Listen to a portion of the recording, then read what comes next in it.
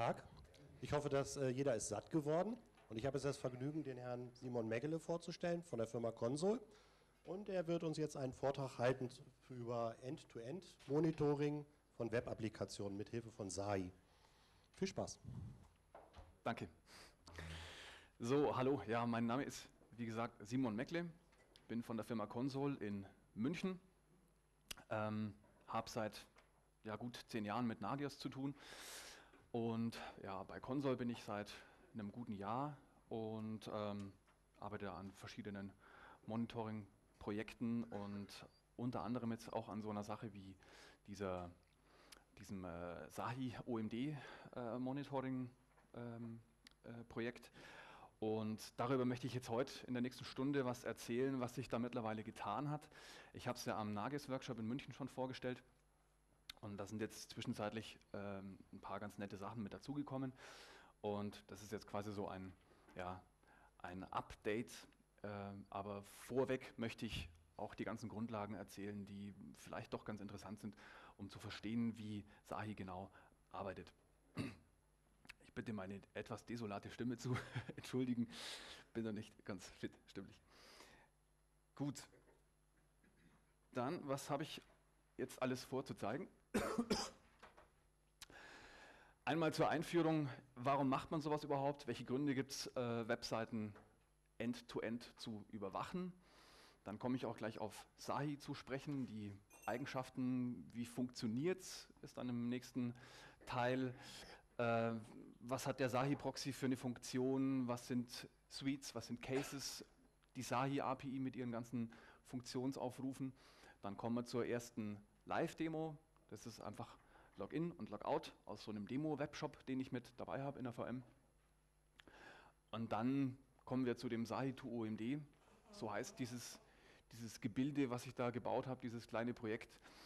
Ähm, einen besseren Namen suche ich noch, aber ich denke, der spricht zumindest und sagt aus, was, er, was sich dahinter verbirgt.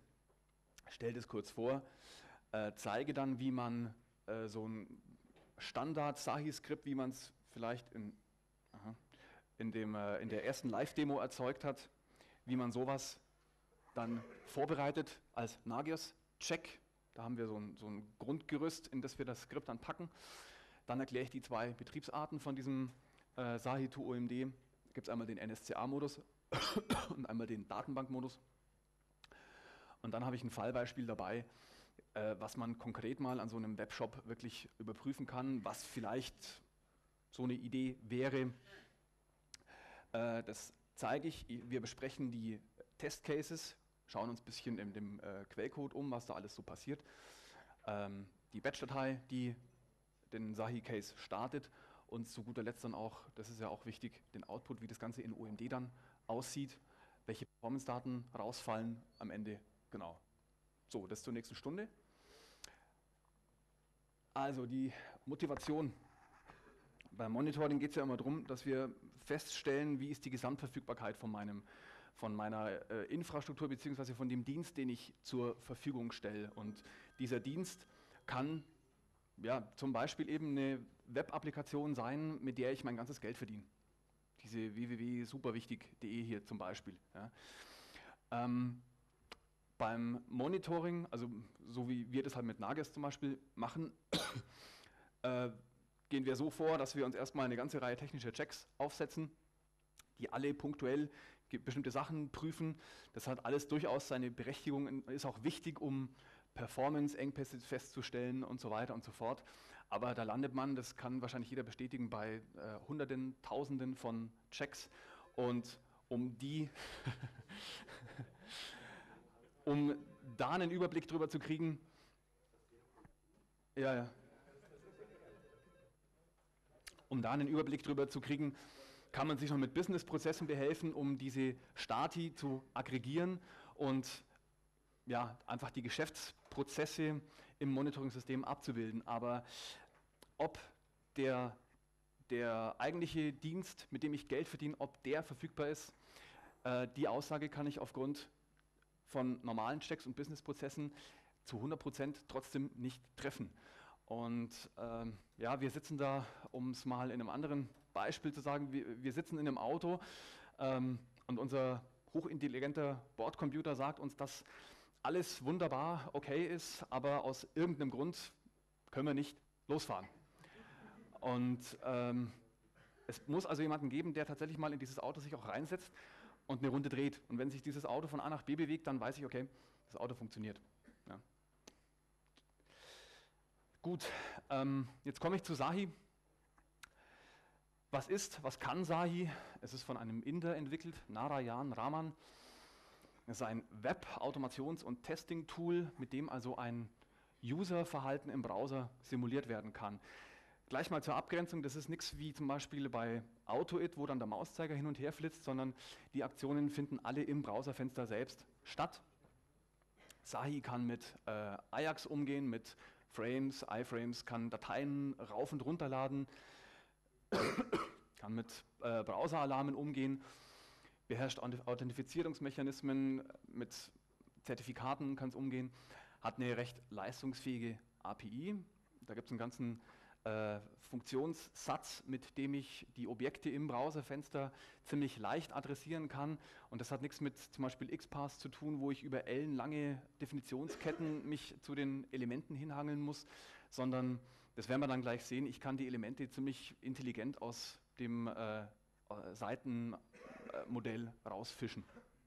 Es gibt auch Funktionen für äh, Datei- und Datenbankzugriff, um auch größere Tests zu fahren, wo ich dann einfach äh, massenweise Testdaten reinhuste in so einen Check. Ähm, fast selbstredend natürlich ein Batch-Mode, dass das Ganze automatisch ausgeführt wird und multithreaded, wenn ich das will. Da komme ich aber später noch dazu. Äh, Sahi erkennt selbstständig, wenn die Seiten fertig geladen sind. Das trifft auch auf bestimmte Ajax-Requests zu, wenn also noch auf Daten gewartet wird.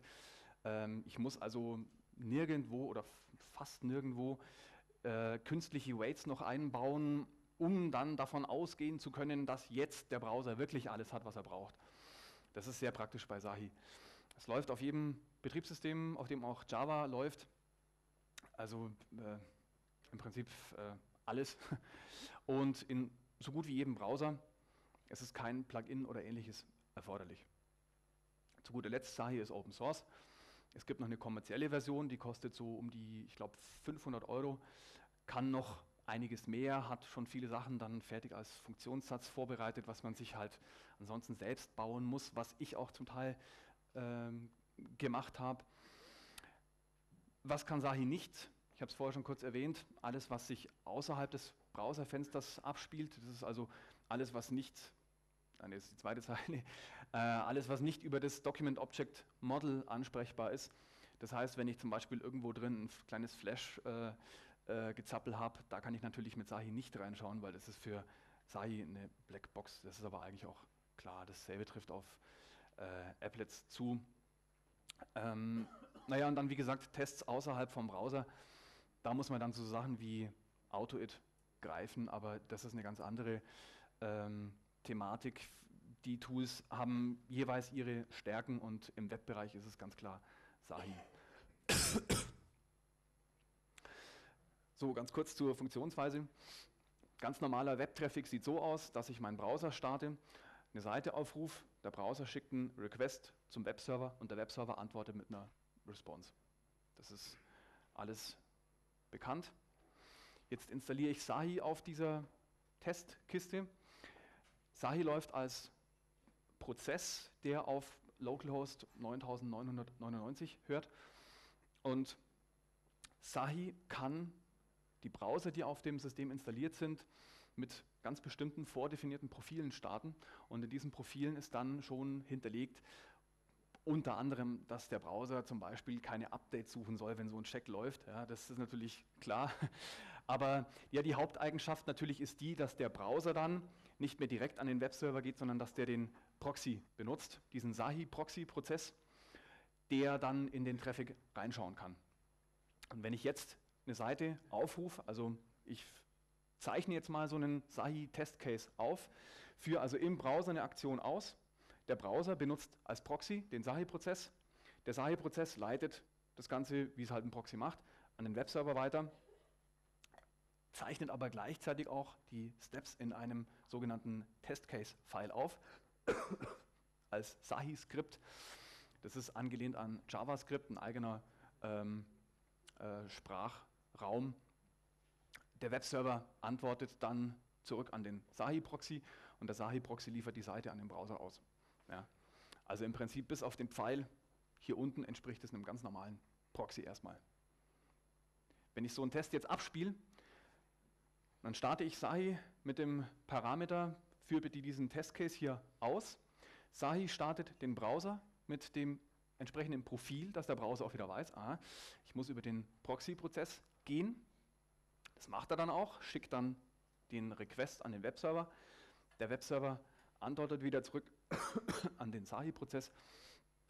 Und Sahi kann eben, weil es teilnimmt an diesem äh, Verkehr zwischen Browser und Webserver, kann den, die, den Inhalt der ausgelieferten Seiten dann überprüfen und ja, dann im Prinzip alles ähm, auf alles ähm, Einfluss nehmen und äh, ja, überprüfen. Das Ganze funktioniert natürlich auch mit einem bereits existierenden Proxy. Das ist selbstredend. Man kann dem SAHI-Prozess über eine Konfigurationsdatei auch sagen, ich habe hier schon in der Firma einen Proxy, ähm, benutzt du bitte den und der Browser benutzt den SAHI als Proxy. Genau. So ein SAHI-Testcase, den ich da aufgezeichnet habe, der kann entweder einzeln abgespielt werden oder auch zusammengefasst werden in einer sogenannten SAHI-Suite. Das ist eigentlich ja, nur eine, so, eine, so eine Sammeldatei, die mir bestimmte Testcases nochmal gruppiert. Hier sieht man dann auch, also das ist tatsächlich der ganze Inhalt einer solchen Suite-Datei. Da wird einfach nur der Testcase angegeben und die Start-URL, mit der ein solcher Testcase hier dann starten soll. Die Elemente, die Sahi sich aus dem Browser rauszieht, die werden über das DOM-Modell, das Document Object Model, äh, adressiert. Das ist eine Norm, die den Zugriff auf die Objekte in so einem HTML-Dokument äh, bietet und beschreibt. Und solche Markup-Dokumente wie HTML bestehen aus Knoten, also so ein HTML-Quelltext lässt sich auch als Baum dann darstellen und über bestimmte Funktionen, die ich jetzt dann gleich erklären werde, kann ich diese Objekte adressieren und direkt aus dem Baum rausziehen. Ich muss mich also nicht über den ganzen Pfad durchhangeln. Da kommen wir jetzt eben zu den Funktionen von Sahi, der interne Funktionsumfang. Es gibt da grob drei Klassen, die Browser Accessor API, die Browser Action API und die Miscellaneous API. Ähm, ich möchte ganz kurz die drei Klassen erklären. Die Browser Accessor API umfasst alle Funktionen, mit der Sahi tatsächlich auf die Objekte im Browser zugreift. Solche Funktionen erwarten immer einen Identifier und da wird jetzt interessant, dieser Identifier, der kann alles Mögliche sein. Das kann ein Index sein, also zum Beispiel der Link mit dem Index 9 auf der Seite. Die haben alle einen, äh, einen äh, Index, über die ich sie ansprechen kann. IDs, Namen, CSS-Klassen, Namen und so weiter. Das Ganze kann ich sogar noch wie hier unten als Regular Expression angeben und den Rest quasi sei überlassen. Wenn es mehrere Treffer gibt, dann nimmt er halt den ersten. Das ist dann mein Pech, aber ähm, ich habe zumindest immer mehrere Möglichkeiten, solche Links oder generell solche Objekte anzusprechen. Eine weitere nette Funktion oder Eigenschaft dieser Browser Accessor APIs das sind die DOM Relations. Und zwar erwarten die einen Identifier und ähm, einen DOM Relation Marker. Ich habe also hier zum Beispiel im ersten Beispiel, möchte ich auf ein Bild zugreifen, welches den Namen delete.gif hat. Und um jetzt eindeutig bestimmen zu können, welches delete.gif ich meine, kann ich entweder abzählen, welchen Index hat dieses Delete-GIF und wenn sich der Index verschiebt, dann habe ich schon wieder Pech gehabt. Wenn ich dagegen mit einer DOM-Relation arbeite, kann ich ihm sagen, innerhalb des DOM-Baums auf gleicher Ebene muss es auf Ebene des, der Zelle mit dem Namen User4 ein Image-Delete-GIF geben und das nimm bitte. Dasselbe funktioniert auch mit Teilbäumen, also mit der Funktion under und mit in, mit dem ich Objekte innerhalb eines bestimmten Objekts, zum Beispiel einem Diff oder, so, oder einer Zelle, adressieren kann. Wenn ich das Problem habe, dass sich die Seiten, dass sich der Seitenaufbau äh, zu schnell wieder ändert oder wenn er ganz dynamisch ist, bin ich mit solchen DOM-Relations eigentlich auf der sicheren Seite, weil ich damit die Elemente eher nach der, nach der Position bzw. Auf, aufgrund ihrer Nachbarschaft adressieren kann. Und das kann eine große Hilfe sein. Zweite Klasse, die Browser Action API. Ja, da ist so ziemlich alles drin, was ich im Browser dann selbst ausführen kann. Das sind Mausklicks, das sind Mouse-over, Drag-Drop-Aktionen. Ich kann Werte in Felder einfügen. Ähm, auch Prüfroutinen, die Assert-Funktionen, die äh, haben ja eigentlich immer sprechende Namen. Mit denen kann man Elemente auf bestimmte Eigenschaften überprüfen und wenn diese Eigenschaft nicht zutrifft, dann feuert diese Funktion eine Exception ab und der Case ja, endet kritisch beziehungsweise unsuccessful bei Sahi verschiedene Debugging-Funktionen, Prompt, Alert und so weiter, was man halt so braucht, wenn man äh, entwickelt und testet.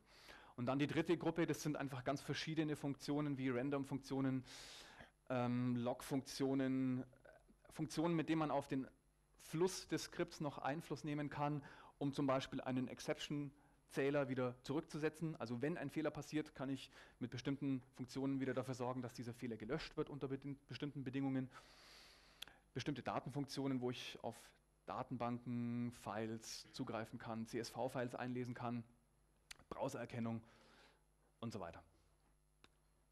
Gut, dann kommt die erste Live-Demo. Da möchte ich jetzt einfach mal zeigen, wie man mit Sahi so einen ganz einfachen Testcase aufzeichnet. Das hat jetzt noch gar nichts mit Monitoring, mit, mit Monitoring, so wie wir es kennen, zu tun. Das ist jetzt einfach mal Plain Sahi. Und zwar hole ich mir jetzt erstmal die äh, Testmaschine in den Vordergrund.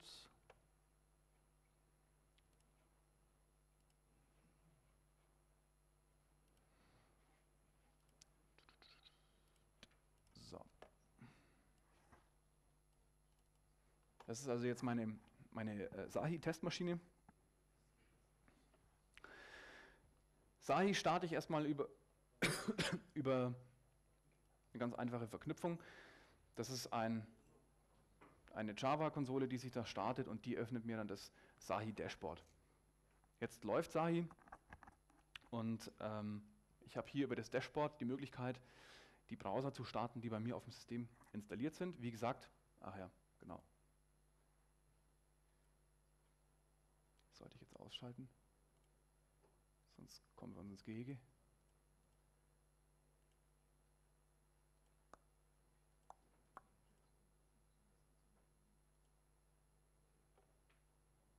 Gut. Mit dabei ist auch ein Browser, den vielleicht nicht so viele kennen. Das ist ein Headless-Browser, der Phantom.js. Da werkelt im Prinzip die gleiche Engine wie beim Safari zum Beispiel. Damit kann ich meine Checks, wenn ich das will, auch komplett headless ausführen, also ohne offenes Browserfenster.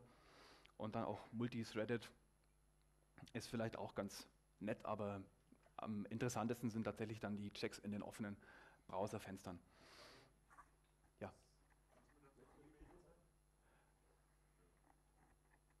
Muss der Benutzer für diese Tests angemeldet sein? Gute Frage. ähm, ich gehe mal davon aus, dass ja. Genau. Gut. Ich denke, du meinst jetzt den, äh, den Windows-Benutzer, mit diesem Windows-Benutzer. Ja, genau. Ah, jetzt hält Gut, dann starte ich jetzt mal den Firefox, in dem möchte ich jetzt meinen Test durchführen. Man hat jetzt schon gesehen in dem Konsolenfenster, der Aufruf von Firefox geschieht mit einem ganz speziellen Profil, das ist im Sahi-Verzeichnis hinterlegt, mit der Start-URL sahi-example.com. Das ist so eine Pseudo-Domain, mit der ich dann auf diese Startseite hier komme. Die wird vom Sahi-Proxy ausgeliefert, der ja lokal hier läuft. So. Alles etwas klein. So. Jetzt gehe ich mal auf meinen äh, Demo-Webshop,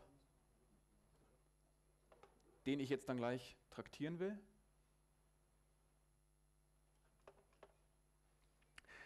Zum Aufnehmen eines Sahi-Cases brauche ich den, den Sahi-Controller.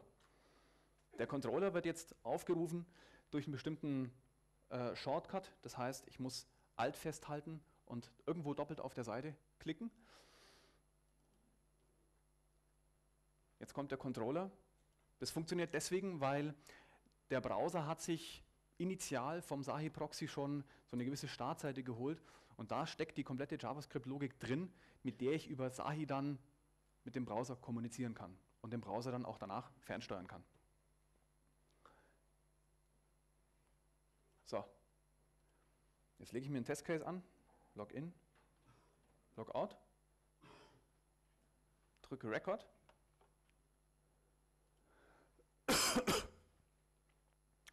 Also, ich möchte mich einloggen auf dieser Seite und wieder ausloggen.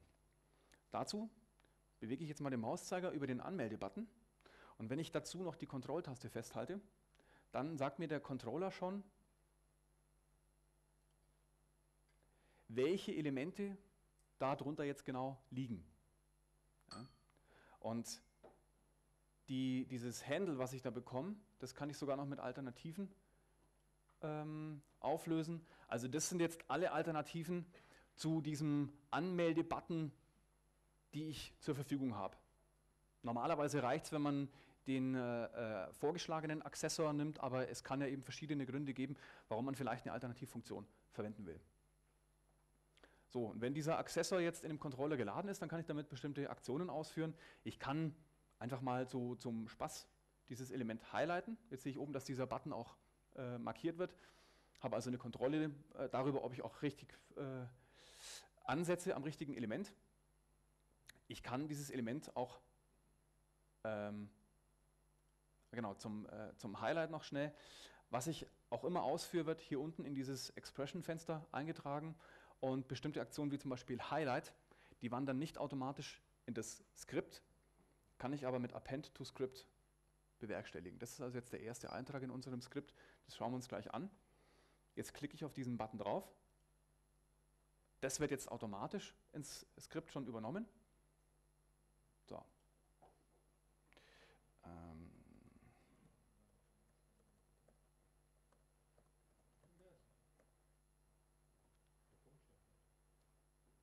Doch, der heißt Sahimon Itoring.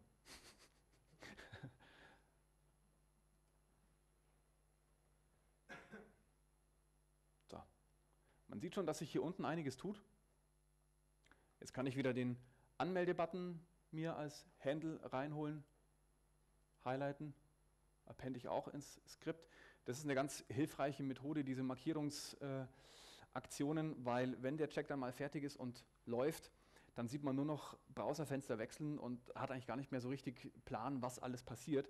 Wenn davor die Elemente, die Sahi aktiviert oder auf das es Aktionen auslöst, wenn die vorher markiert werden, dann hat man ungefähr ein Gefühl dafür, was, was sei da alles im Schilde führt. So, ähm, genau, Append to Script. Und jetzt kann ich ihn anklicken und mich anmelden. Jetzt bin ich eingeloggt und jetzt melde ich mich auch schon wieder aus. Control festhalten, drüber fahren, im Controller highlighten, jawohl, passt. Append to Script und jetzt klicke ich noch drauf ausgeloggt. So. Langsam. das kommt alles, das kommt alles später. Genau. Jetzt gehe ich auf Playback.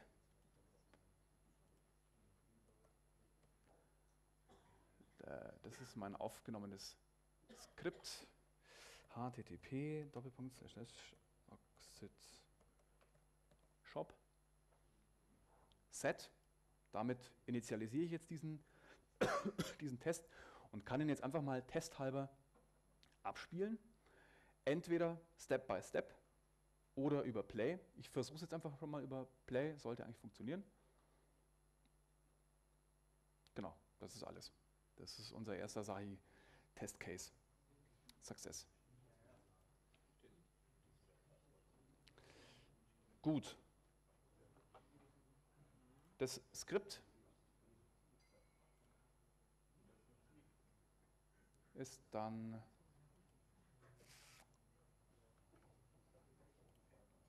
Hier, das ist jetzt unser SAHI-Skript.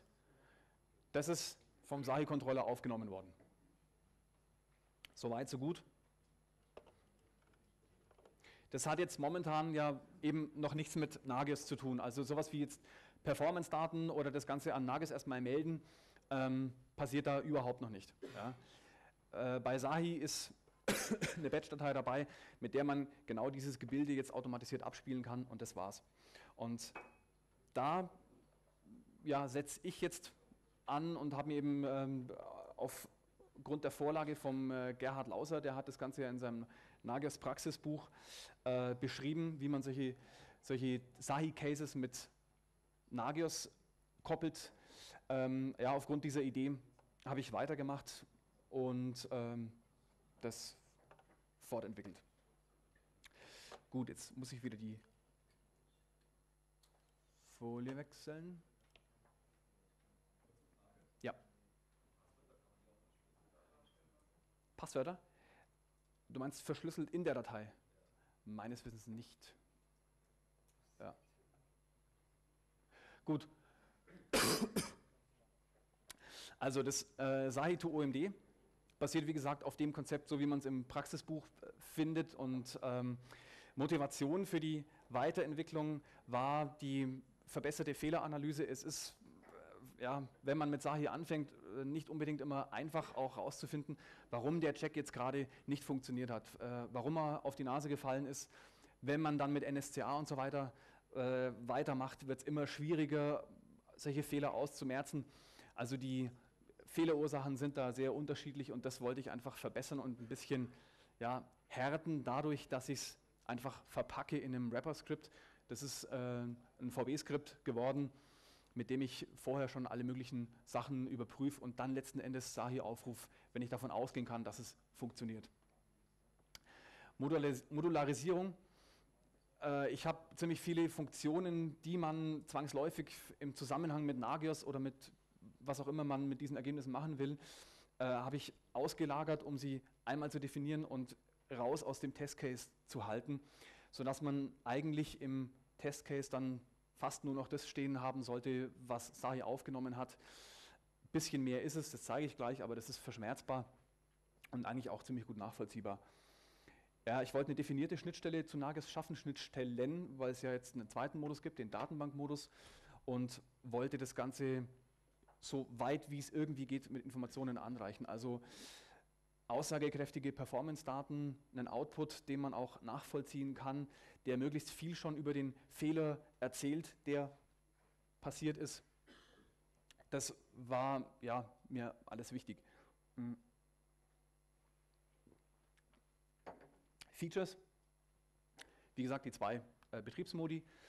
Wenn eine Exception stattfindet, kann automatisch ein Screenshot angefertigt werden, Laufzeit-Performance-Daten von der Suite selbst, von den Cases, die innerhalb der Suite gelaufen sind und was Sahi in der Open Source Version nicht vorsieht, Laufzeiten der einzelnen Steps. Mich interessiert ja vielleicht innerhalb eines solchen Testcases nicht nur, wie lang der gelaufen ist, sondern was hat sich innerhalb dieses Cases getan. Also wie viele Sekunden hat es gedauert, erstmal die Startseite zu laden und dann, um sich einzuloggen. Das sind ja alles wieder so ähm, Metriken, die vielleicht, wenn sie kritische Werte annehmen, auf ganz unterschiedliche Fehler wieder hinweisen können. Mit dabei sind auch PNP-Templates, um das Ganze halt gut zu visualisieren. Gut, ich möchte jetzt im Folgenden hauptsächlich auf den Datenbankmodus eingehen, weil da halt am meisten Features dazugekommen sind. Konkret sieht das Ganze jetzt so aus. Das ist jetzt unser Grundgerüst für Sahi-Scripts. Der markierte Bereich hier stimmt nicht ganz, es zählt das hier unten auch noch mit dazu. Das ist das, was Sahi aufgenommen hat. Das kam ursprünglich aus dem Controller raus und ist aufgenommen worden. Das, was außenrum passiert, ist eigentlich auch schnell erklärt. Hier oben include ich eine Nagios Inc-Datei, mit der lade ich Funktionen nach, die ich einfach brauche, um das Ergebnis dann erstmal weiterverarbeiten zu können. Ich habe eine ziemlich umfangreiche ähm, äh, Log-Datei, die mir dann äh, die, also das Loggen kann ich an- und ausschalten, die mir auch erzählt, was innerhalb des Sahi-Cases passiert. Dann habe ich einen Try, Catch, Finally Block. Ist eigentlich auch ähm, denke ich, jedem bekannt, was, was, so eine, was so ein Block macht. Innerhalb des Tries wird einfach mal versucht, diese Aktionen auszuführen. Und wenn eine dieser Funktionen oder einer dieser Funktionsaufrufe hier einen äh, Fehler wirft, also eine Exception, dann fällt das Skript in diesen Catch-Block und im Error-Objekt steht dann hoffentlich auch das drin, was ich später im Nagios sehen will. Das fackle ich ab mit einer Handle-Exception-Funktion, die ist auch in der Nagios-Include-Datei drin. Und zu guter Letzt und auf jeden Fall wird dann Save Result ausgeführt, der ich den Output mitgebe, ähm, ja, mit, mit den Informationen über den Verlauf des, des Testcases. Genau, äh, vergessen habe ich Initialize. Damit setze ich den Threshold für die Laufzeit dieses Cases, also Warning Critical, bitte.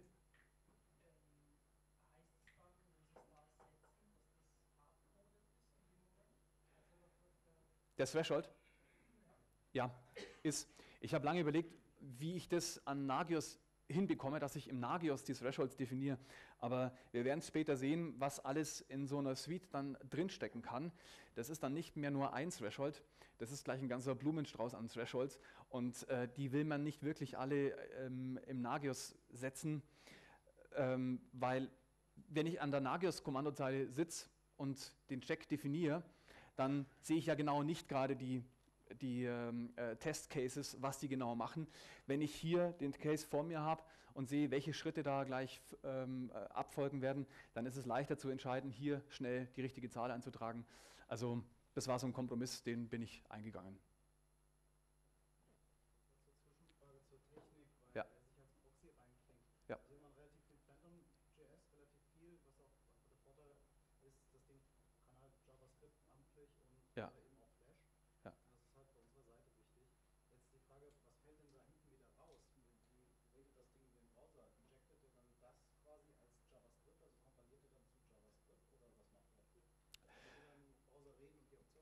Genau, der Browser, wenn, der Browser, wenn von Sahi gestartet wird, hat schon, ich kann es später vielleicht noch im Firebug zeigen, hat schon am Kopf der Seite äh, eine, ein riesen JavaScript mit drin, welches von Sahi kommt.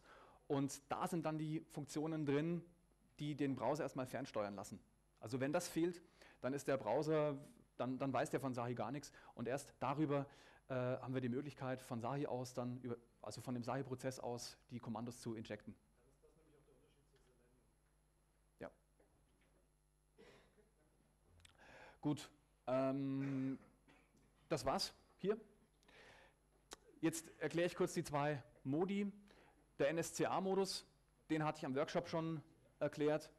Der Task Scheduler startet mir über eine Batch-Datei, Sahi to OMD. Es gibt dann noch mehr Parameter, aber das sind mal die wichtigsten. Einmal der Modus und was denn zu prüfen ist, also die Sahi Suite. Da finden ja erstmal Environment Checks statt.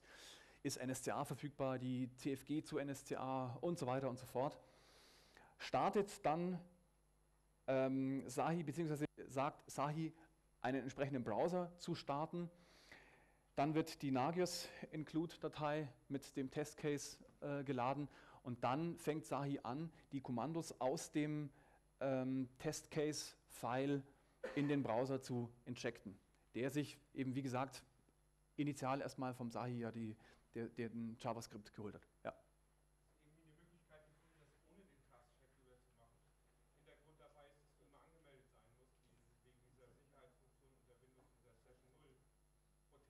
Ja.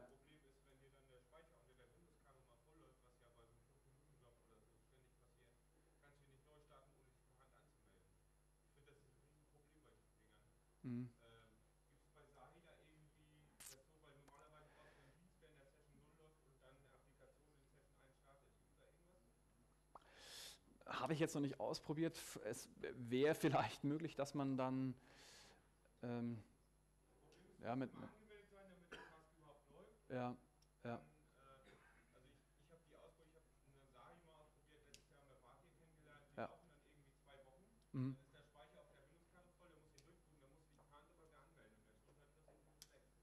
Mhm, okay. okay. Ja, also mit einem Headless-Browser würde es gehen, aber das will man ja vielleicht in dem Fall genau nicht. Man will ja den, den Browser tatsächlich offen haben.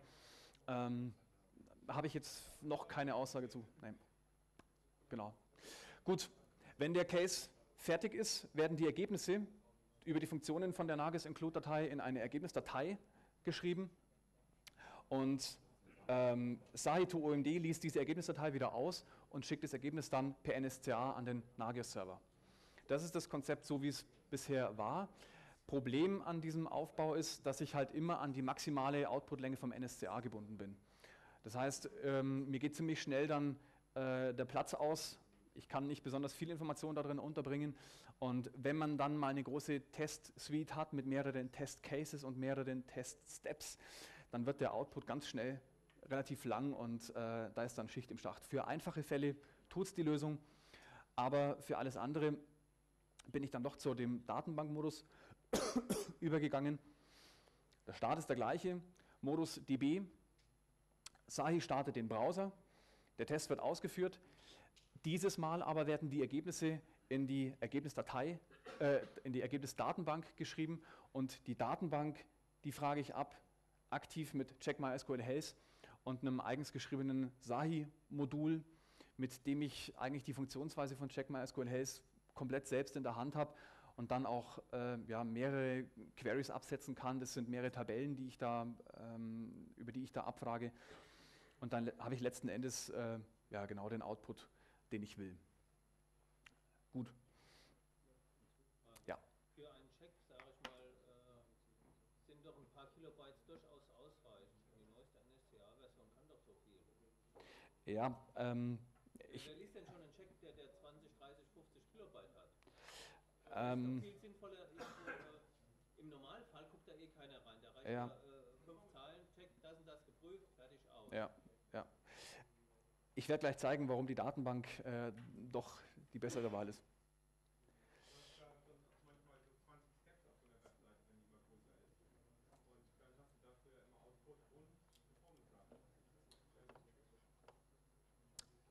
Gut.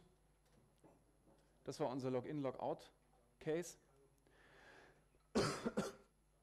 Ich möchte jetzt an diesem Webshop mal zwei äh, äh, Sachen abprüfen. Einmal möchte ich sicherstellen, dass ich an dem Webshop die Lieferadresse zu meinem Benutzeraccount ändern kann. Ich möchte mich also anmelden, in mein Konto reingehen und die Adresse, die dort hinterlegt ist als Lieferadresse, möchte ich ändern und danach möchte ich prüfen, ob die Änderung auch erfolgreich abgespeichert worden ist. Der zweite Check ist einfach drei Artikel in den Warenkorb legen und genau diese drei Artikel möchte ich später auch im Warenkorb dann sehen, wenn ich ihn aufrufe. Ist jetzt erstmal relativ banal, aber schon mal äh, in der Grundfunktionalität würde schon mal sicherstellen, dass ziemlich viel schon mal läuft an meinem Shop.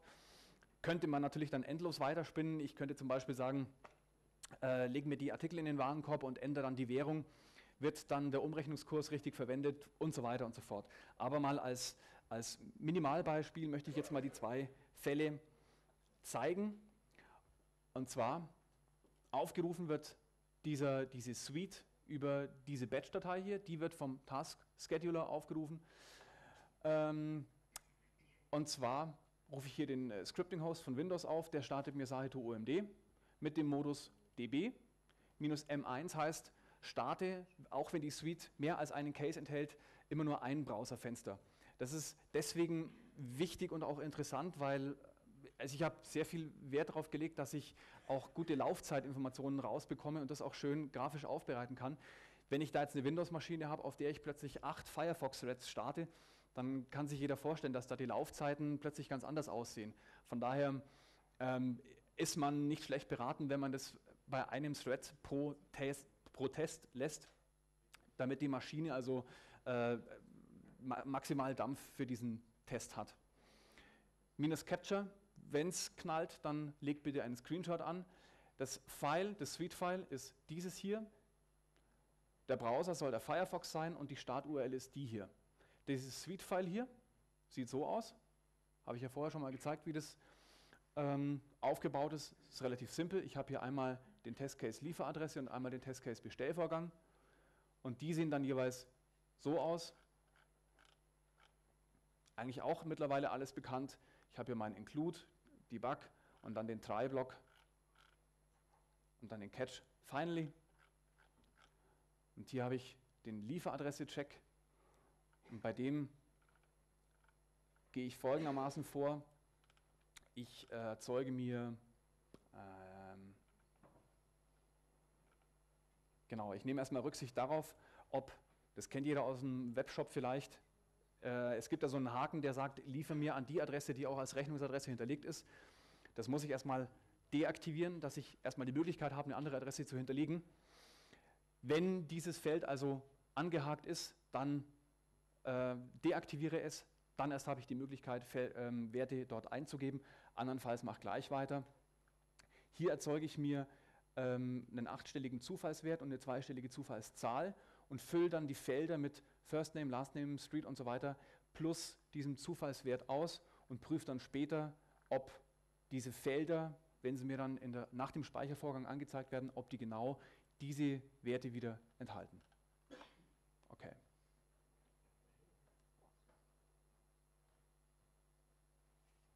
Skript, jetzt schauen wir mal, ob das noch so funktioniert. Hier ist die Oxid Functionality.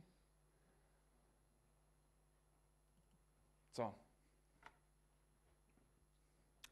Erster Testcase, Bestellvorgang, einloggen. Ach schon das war die, die, genau. Jetzt werden hier die Felder ausgefüllt. Speichern. Das Feld wird überprüft per Regex. Hat also funktioniert. Jetzt wird das Ergebnis in die Datenbank gespeichert. Nächster Testcase, der Bestellvorgang, anmelden erstmal.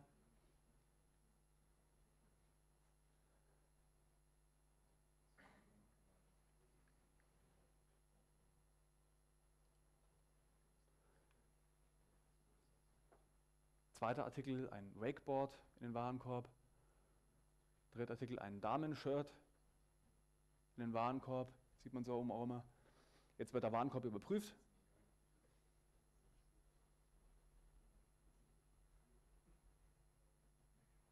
Ergebnis in die Datenbank und weg. Das war's. Diesen Check habe ich als Schedule Task hinterlegt, der ist momentan deaktiviert, den lasse ich jetzt wieder regulär laufen. So. Das Ganze im OMD sieht dann folgendermaßen aus.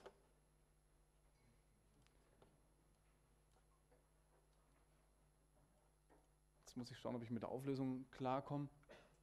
Also hier habe ich mal so meine Testcases. Diese hier, das sind die, wo ich über NSCA-Ergebnisse reinbekomme. Unsere ist der hier oben und den werde ich jetzt mal kurz reschedulen. Genau. Sehe also hier, okay, der erste Testcase mit der und der Laufzeit war okay und der zweite Testcase mit der Laufzeit war auch okay und die Suite an sich lief auch in der Zeit, innerhalb der sie laufen darf. Also auch da kriege ich nochmal einen separaten Alarm. Im Detail sieht es so aus. Hier sieht man schon, was da an Performance-Daten rauskommt. Achso, genau, eins habe ich vergessen zu zeigen, und zwar äh, die Step-Funktion. Beim Bestellvorgang zum Beispiel, hier kommen immer wieder so Zeilen Step. Das bedeutet, ab Beginn des Testcases, ja, gut. Startet ein Timer. Die Step-Funktion selbst berechnet dann, wie viele Sekunden seitdem vergangen sind und speichert diesen Step mit diesem Namen hier ab. Zugleich auch einen Status, äh, der daraus resultiert, ob die Zeit, die vergangen ist, unter der erlaubten Zeit war. Hier habe ich es mir erspart, einen Critical Threshold noch anzugeben, weil es ja nur innerhalb eines Testcases stattfindet.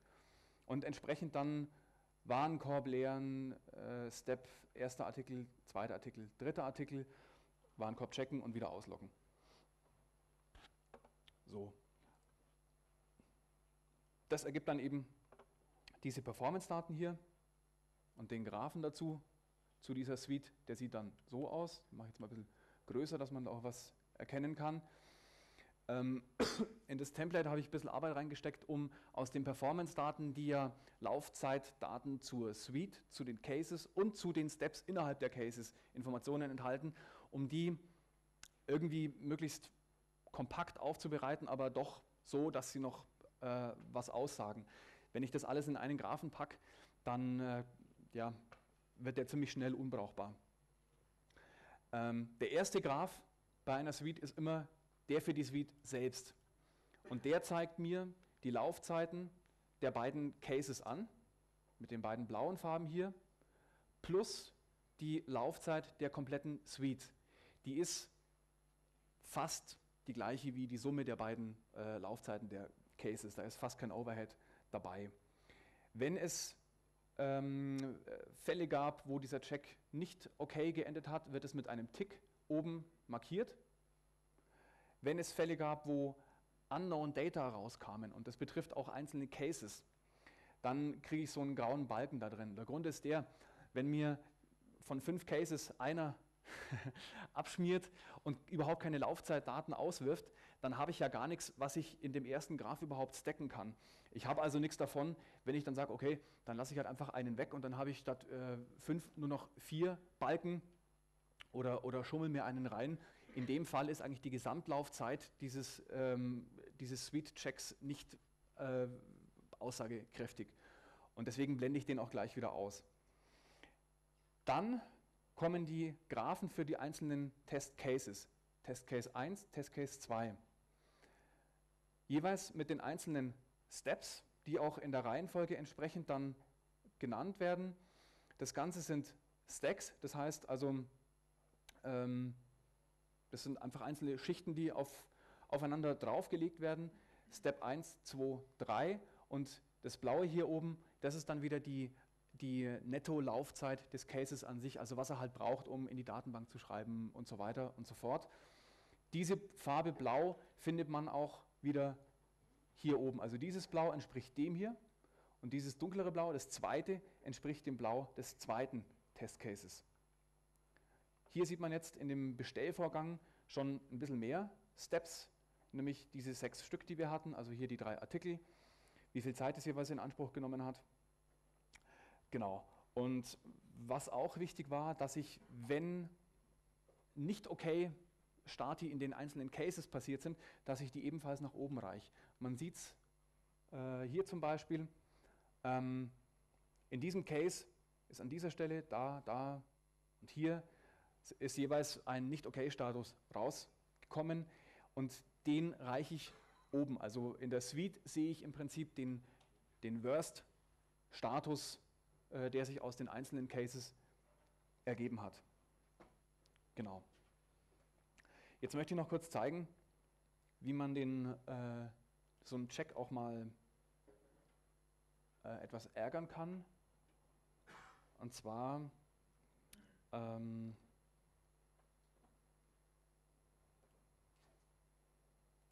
zwar möchte ich ähm, den Warenkorb, da hacke ich jetzt mal irgendwas rein. Diesen Link wird es also nicht geben. Da erwarte ich jetzt, dass er auf die Nase fällt. Und genauso bei der, habe ich schon, Steuerung S.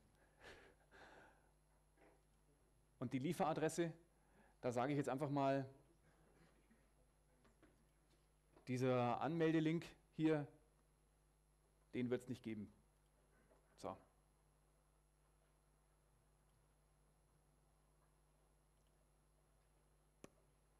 Jetzt läuft er natürlich gerade, aber jetzt äh, schieße ich ihn mal ab.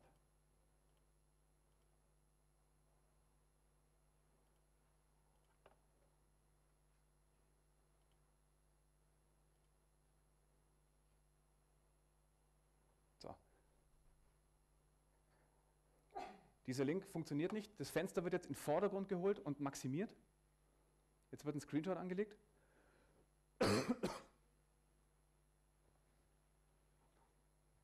Ab in die Datenbank. Der zweite Testcase, der läuft eigentlich bis zuletzt durch und bei der Überprüfung des Warenkorbs wird er dann feststellen, dass es den Artikel nicht gibt. Und ja, eins der Hauptprobleme an diesen Screenshots, das war lange ähm, wie kriege ich das Fenster in den Vordergrund. Also wenn doch irgendwie mal passiert ist, dass irgendein Fenster davor war, selbst wenn alles zu war und nur Sahi lief und der Browser, konnte man sich nie wirklich darauf verlassen, dass nicht doch nur, da haben wir das Konsolenfenster äh, abfotografiert wird. Das habe ich dann dadurch gelöst, dass ich mir über JavaScript den Fenstertitel raushol und damit dann wieder ein VB-Skript aufrufe, weil in einem VB-Skript kann ich die Fenster nach vorn holen. Und damit habe ich es dann hinbekommen, auch um dann ähm, äh, den Fullscreen-Modus zu starten, damit ich keine Toolbars oder Menüleisten noch mit im Screenshot habe, sondern einfach nur noch das eigentliche Problem.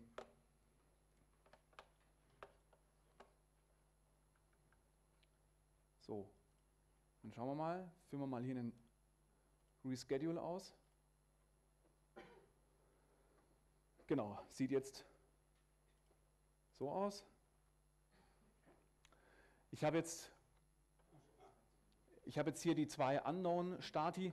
Also wenn so eine Exception passiert, dann lasse ich die nicht in ein Critical rennen. Ich habe mich dafür entschieden, dass ich ähm, Warning und Critical für Laufzeitfehler vorbehalte und Exceptions, wo der Check also schon vorher aussteigt, mit Unknown, weil da haben wir genau das Problem mit den Laufzeiten.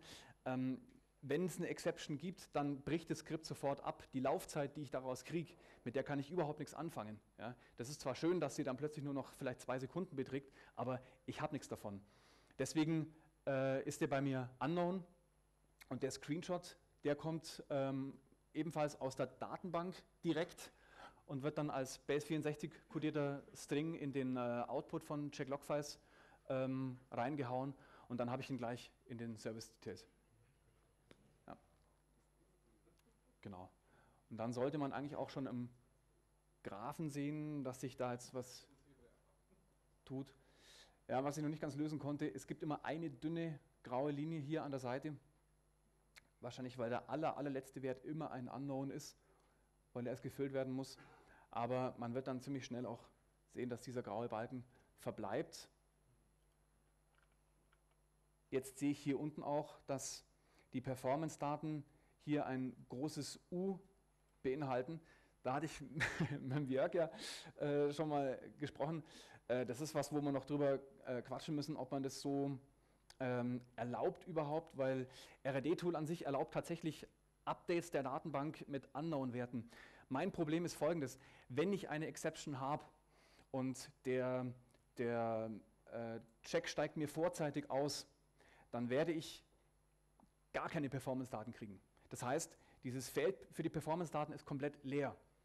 Jetzt habe ich ja ähm, bei dieser Art von äh, Check ähm, muss ich als Storage-Type für die RD-Files Multiple hinterlegen. Das heißt, diese ganzen Datenreihen liegen nicht alle in einer RD-Datei, sondern der legt mir tatsächlich pro Datenreihe eine eigene RD-Datei an. Und die sammle ich mir wieder ein. Was also hinten an dem Check rausfällt an Performance-Daten, durchlaufe ich im PNP-Template mit einigen Schleifen. Wenn da jetzt aber nichts drin steht, dann kann ich mir gar nicht erst einen Graphen bauen. Deswegen sage ich mir, egal ob da jetzt ein Wert drin steht, der Check war unknown, dann soll hier ein großes U stehen, aber ich brauche die Labels, um mir überhaupt erstmal diese Graphen zu erzeugen. Damit also PNP weiß, dass zum Beispiel hier eine Legende mit dem und dem Namen gezeichnet werden soll. Was man sieht und was ich nicht vermeiden kann, es sind natürlich nicht mal Steps ausgeführt worden, weil dieser Check, der die, nur diese blaue Fläche jetzt hat, ja, wenn ihr euch erinnert, wir hatten hier gerade noch Steps stehen, ja, ähm, der fiel ja ganz am Anfang auf die Nase. Dem habe ich ja den allerersten Link schon eigentlich versaut, den konnte er gar nicht anklicken. Das heißt, er hat gar nicht erst die Steps erzeugt, die ich ihm angegeben hatte. Okay, da fehlt natürlich komplett die Information, welche Steps überhaupt vorhanden sind. Und dann malt er mir halt nur noch die, den Graphen für die Komplettlaufzeit. Genau. Aber so, so sieht es aus. Genau. Damit wäre ich fertig. Danke.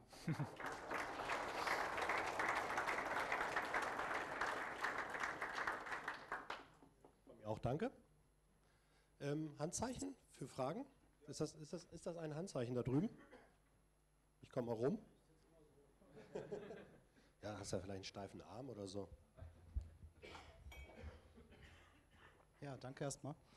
Ähm, ich habe nochmal eine Frage zu dieser Workflow-Beschreibungssprache von Sahi. Ähm, ja. Das Schöne ist, die ist schön clean. Ja. Aber ähm, was ist denn, wenn man relativ komplexe Dinge im Quelltext checken möchte? Also wenn man beispielsweise, was wir viel machen, wir gehen mit auf eine Seite, holen über uns über XPath ähm, bestimmte Werte raus, rechnen damit, vergleichen damit Mhm. und erst dann gehen wir weiter mit XPath und holen dann den Wert raus und, und machen daraus dann ein, was weiß ich, Critical Warning, was auch immer. Ja. Geht das mit Sahi auch? Also es ist ja eine ganz andere Dass ich mir. Werte rausziehe. Ja, nee, dass man halt ähm, auch wirklich nur bedingt Dinge rauszieht. Oder, ähm, also ich verstehe die Philosophie von Sein nicht so ganz, weil Browser-Denken in JavaScript, DOM-Baum kann ich mit XPath bearbeiten oder mit CSS-Selektoren, Ja. wie ich möchte. Und Sahi macht dann nochmal was anderes, macht dann aber hinten raus wieder JavaScript. Und JavaScript muss ja dann eigentlich auch wieder mit ähm, Selektoren arbeiten, weil das läuft ja dann in der JavaScript-Engine. Mhm. Also es, es, es klingt so, äh, also schön ist die Syntax, aber irgendwie ist es auch, ähm, man abstrahiert sehr, sehr viel von dem, was man eigentlich macht, wenn man zum Beispiel Webdeveloper ist. Also, was ist so dein persönlicher Eindruck bei der Arbeit? Also, wenn du wirklich komplexe Checks machst, wo du auch wirklich mal ein bisschen hin und her vergleichen musst, bevor du sagst, der Wert ist jetzt irgendwie kritisch. Und, oder ich verwerfe etwas und hole mir dann wieder einen anderen Wert raus und Naja, gucke gut. den an. Im Prinzip habe ich ja, habe ich ja äh, alle Möglichkeiten, die ich mit äh, JavaScript habe. Also der Check kann ja beliebig komplex werden. Wenn ich mir einen Wert aus dem Quelltext äh, rausziehen will, ähm, gibt es eine eigene, ja, habe ich jetzt keine gerade hier, aber ähm, das ist, ja, ja, Entschuldigung, jetzt glaube ich, habe ich die Frage verstanden. Also das waren ja mehr so, ich gucke danach, gucke danach, gucke danach, aber häufig hat man ja doch komplexere Sachen.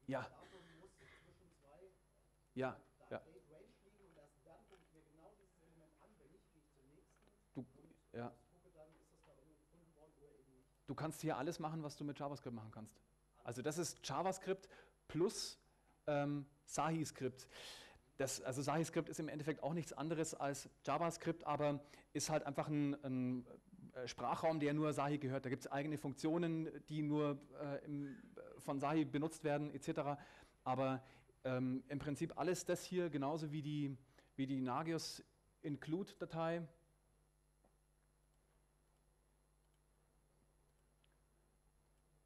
Das ist alles äh, pures äh, JavaScript. Ja. Genau. Sonst noch? Ja, würdest du sagen, diese, diese Lösung ist schon ist noch in der fin Findungsphase oder schon für den harten Produktionsbetrieb fertig, ready to go? Ich würde sagen, jetzt äh, kann sie eingesetzt werden. Also mit NSCA hatte ich selber so ein komisches Bauchgefühl, weil, ähm, weil ich halt genau wusste, ich, ich renne ziemlich schnell in, diese, äh, in diesen begrenzten Output, ja, auch wenn es vielleicht mittlerweile geht, aber ähm, ich will es nicht gleich wieder an irgendwelche Bedingungen knüpfen. Mit der Datenbank hat man noch ganz andere Möglichkeiten. Und äh, ich finde diesen Modus eigentlich ziemlich äh, praktisch. Es bleibt alles in der Datenbank. Ich kann mir auch die Historie äh, komplett ansehen. Ich habe alle Screenshots mit zu den Cases abgespeichert. Ähm, äh, es ist schon sehr weit. Äh, wie schwer ist es bei Sahi jetzt zu sagen, ich möchte es nicht mit dem Firefox, sondern mit einem anderen? Ist es einfach nur umschalten? Oder? Ah, okay. Genau. Du hast, das kann ich noch kurz zeigen, im Controller hast du die Möglichkeit, jetzt ist mal wieder gut.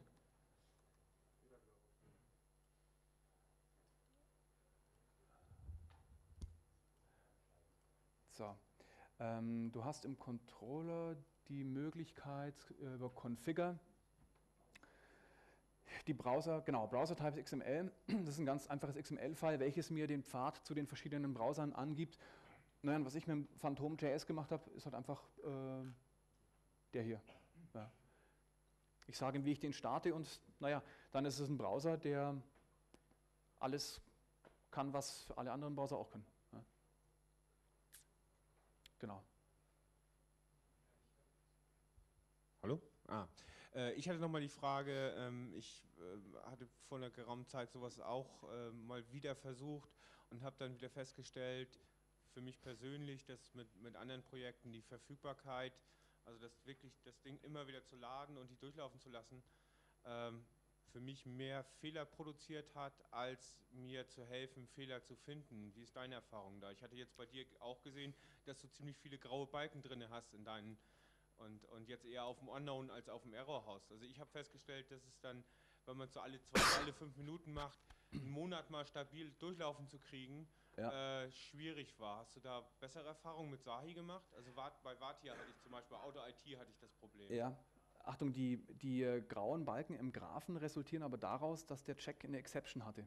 Ja, da ist halt ein Screenshot mein. Meine Erfahrung ist, dass die Exception eher von dem SAI kommt, als von der Webseite, die nicht funktioniert. Wenn du dann auf die Webseite gehst, geht die, aber das SAI hat sich, oder nicht das SAI, oder halt SAI, Autoativati, also das, das Prüftool selber hat sich aufgehängt, weil es da irgendwie eine Exception gibt und schmeißt die raus, anstatt dass die Webseite nicht funktioniert. Das ist, Das so ist mir, äh, ich kenne das Problem und äh, ich weiß auch, meine Lern, mein Verlauf der Lernkurve am Anfang bei Sahi äh, äh, war schon auch beachtlich und von daher kenne ich genau die Fehler, ja? dass es erstmal knallt und man weiß nicht genau, wo man suchen muss.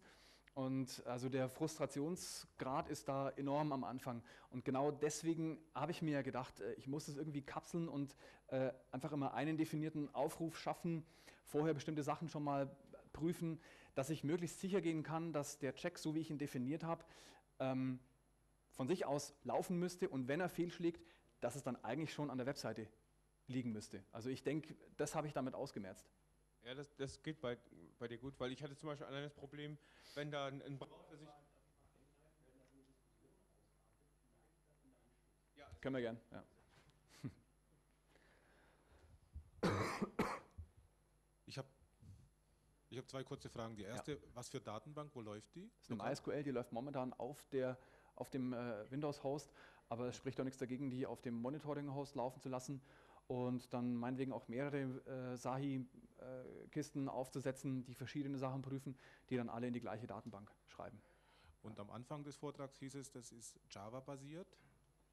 Sahi Ja. selbst ist in Java, Okay. genau, das ist ein Aber Java-Prozess. diese Erweiterungen jetzt, äh, die funktionieren nur unter Windows. Ähm, die funktionieren nur unter Windows, genau. Das Sahi to OMD, das ist natürlich VB-Script äh, Windows. Ja. Ähm, ich habe mich erstmal auf Windows beschränkt, weil natürlich da die, ja, da ist auch der Internet Explorer vorhanden, der natürlich auch bei vielen Firmen wichtig ist und habe Windows aus dem Grund erstmal die Präferenz äh, gegeben. So, jetzt aber bitte nur noch eine kurze Frage. Ansonsten, der Simon steht auch sonst noch zur Verfügung hier nach. Hast du dir andere Tools auch angesehen? Diesbezüglich Selenium zum Beispiel oder Casper.js? Also ich hatte vor drei Jahren schon mal mit äh, Sahi zu tun. Das war mein Erstkontakt überhaupt mit End-to-End-Monitoring und bin eigentlich immer dabei geblieben, habe mir die anderen äh, ehrlich gesagt noch nicht genauer angeschaut, weil auch durch Projekte ich immer weiter an dem ähm, geblieben bin und ähm, ich konnte bisher alles damit machen. Dann nochmal vielen Dank, Simon. Danke.